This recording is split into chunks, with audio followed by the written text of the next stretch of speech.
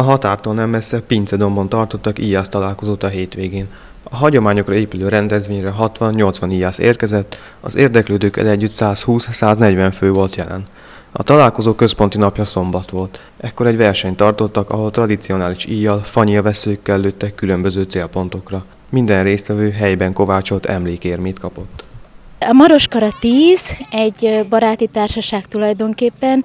Azt szoktuk mondani dióhéjban, hogy hagyományőrzéssel foglalkozunk, próbálunk egy picit így a régmúltra visszanyúlni, megpróbálni, megvalósítani azokat a dolgokat újra, amiket elődeink csináltak, tettek, próbálunk egy kicsit a történelembe kutakodni, és családokat, gyermekeket, embereket bevonni, akit érdekel, azokat itt szívesen látni, fogadni. Tehát mi ezt szívből, lélekből és a saját kis pénztárcánkból adjuk elő.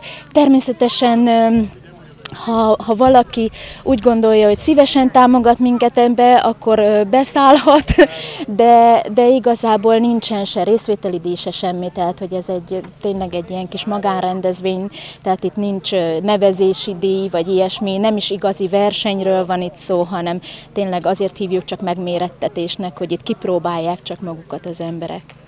Hát itt a Maros partján, az ártérbe, illetve itt a környező kis kertek mellett a szabad területeken szoktunk elhelyezni célokat. Ugye az íjászok ezekre a célokra lőnek, Úgyhogy erről van szó egész egyszerűen, tehát aki hagyományőrzéssel és íjászattal foglalkozik, az itt ki tudja próbálni magát, hogy mennyire ügyes. Igazából úgy szoktuk csinálni, mivel vidéki vendégeket is sokszor elvárunk Békés Csabáról, Tótkomlósról, Szentesről, néha Mohácsról is érkeznek vendégeink, akikkel tartjuk a kapcsolatot már régóta.